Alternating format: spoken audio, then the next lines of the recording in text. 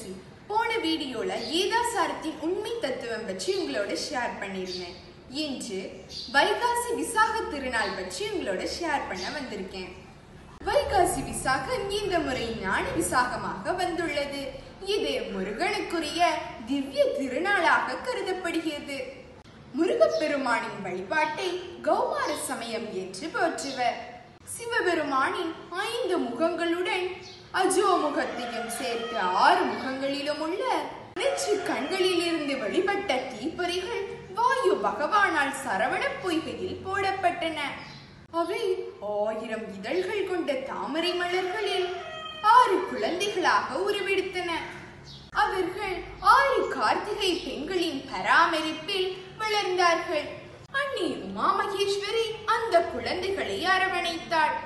ஆறு முகங்களும் பன்னிரண்டு கரங்களும் கொண்ட ஆறுமுகன் கந்தனாக காட்சியளித்தது இன்றைய நாளான வைகாசி விசாக திருநாளாகும். மூவிரு முகங்கள் போற்றி முகம்பொழி கருணை போற்றி ஏவரும் துதிக்க நின்ற ஏறாறு தோள்கள் போற்றி என்று முருகப்பெருமானை மகிழ்விப்போம்.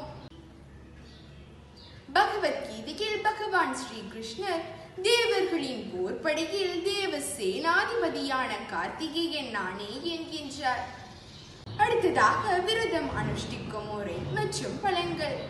சர்க்கரை பொங்கல் படைத்து நீர் மோர் பானகம் போன்றவற்றை தானம் செய்து விரதம் அனுஷ்டித்தல் வேண்டும். இதன் பலனாக கவலை தீரும் கடன் தீரும் நோய் தீரும். அருவமும் உருவமுமாகி அனாதியாய் பலவாய் ஒன்றார்.